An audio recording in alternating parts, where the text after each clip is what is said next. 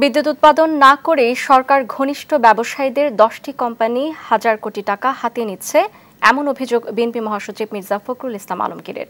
রাজধানীতে এক বিক্ষোভ সমাবেশে তিনি বলেন, দেশের মানুষ বিদ্যুৎ ঘাটতিতে থাকলেও সরকার ইন্ডেমনিটি আইন করে কোম্পানিগুলোকে সুবিধা দিয়েছে।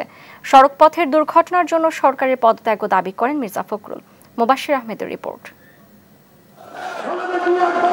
অর্থনৈতিক সংকট, বিদ্যুৎ ও জ্বালানি খাতের অব্যবস্থাপনার প্রতিবাদে জাতীয় প্রেস ক্লাবের সামনে ঢাকা মহানগর দক্ষিণ বিএনপির বিক্ষোভ সমাবেশ উপস্থিত হাজারো নেতাকর্মী। বিএনপির কেন্দ্রীয় নেতারা অভিযোগ করেন, গণতন্ত্র ও মানুষের অধিকার প্রতিষ্ঠায় একমাত্র বাধা বর্তমান সরকার। এই দেশকে যদি বাঁচাতে হয়, যত তাড়াতাড়ি এই হাজিরাকে ক্ষমতা থেকে নামাতে পারব, তত তাড়াতাড়ি মঙ্গল হবে।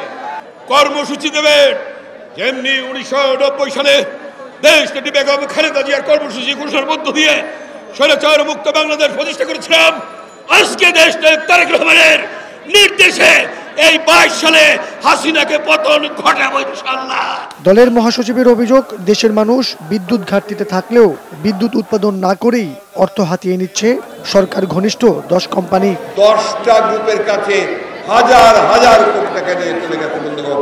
আপনাদের পকেট থেকে বের করে নিয়ে গেছে। শুধু তাই না?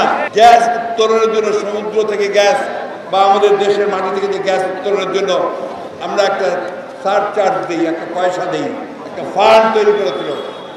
সেটার প্রায় আড়াই হাজার কোটি টাকা এই সরকার ওখান থেকে নিয়ে গিয়ে এখন গ্যাস কেনার জন্য দিচ্ছে। এটা আরেকটা বাটপাড়ি আরেকটা ডাকাতি বন্ধ সড়কের অব্যবস্থাপনা ও দুর্ঘটনার জন্য সড়ক পরিবহন ও সেতু মন্ত্রী ওবায়দুল কাদেরকে দায়ী করেন বিএনপি মহাসচিব।